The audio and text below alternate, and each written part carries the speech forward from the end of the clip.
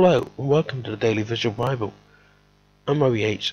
You know, I really have found reading the book of Leviticus extremely interesting. Some of the rules contained in this book I had forgotten about since the last time I had read it. It strikes me how quick some people are to judge others for breaking the rules of sexual immorality, and they are to judge them for having a shave or a haircut.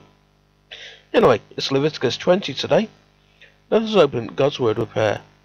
Lord, I ask that as I read your Word, that you reveal something new to me. I also ask that as people see and hear your Word, they come to a better understanding of you. Amen.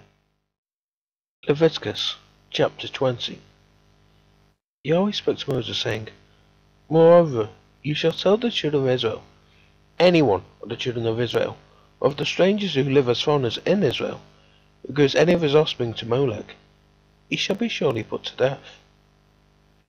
The people of the land shall stone him with stones. I also will set my face against that person, and will cut him off from among his people, because he has given of his offspring to Molech, to defile my sanctuary and to profane my holy name. If the people of the land all hide their eyes from that person, when he gives of his offspring to a Molech, and don't put him to death, I will set my face against that man, and against his family, and will cut him off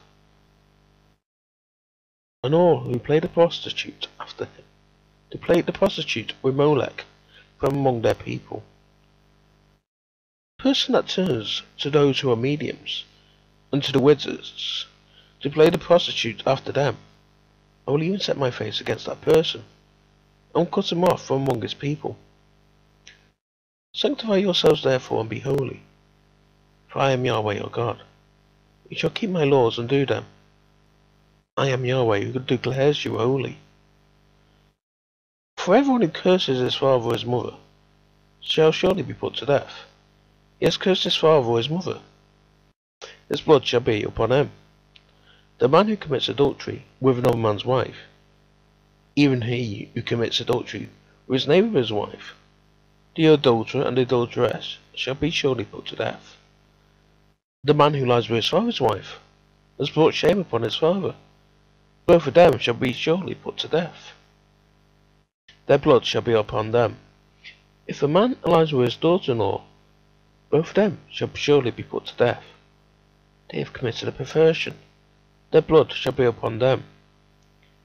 If a man lies with a male, as he would with a woman, both of them have committed an abomination. They shall surely be put to death. Their blood shall be upon them. If a man takes wife and her mother, it is wickedness. They shall be burned with fire, both he and they, that there may be no wickedness amongst you. If a man lies with an animal, he shall be surely put to death, and you shall kill the animal.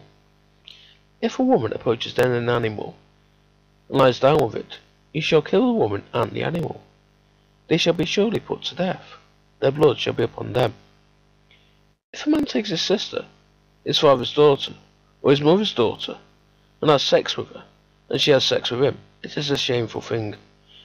They shall be cut off in the sight of the children of their people. He has had sex with his sister.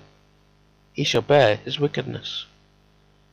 If a man lies with a woman, having a monthly period, and has sex with her, he has uncovered the source of her bleeding, and she has made known the source of her bleeding. Both of them shall be cut off from among their people. You shall not have sex with your mother's sister, nor of your father's sister, for he has had sex with his close relative.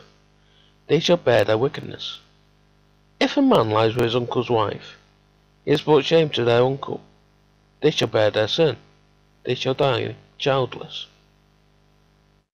If a man takes his brother's wife, it is an impurity. He has brought shame to their brother. They shall be childless. You shall therefore keep all my laws and all my practices, and do them, that the land where I am bringing you to dwell may not vomit you out. You shall not walk in the customs of the nation which I am casting out before you. For they did all these things, and therefore I hated them.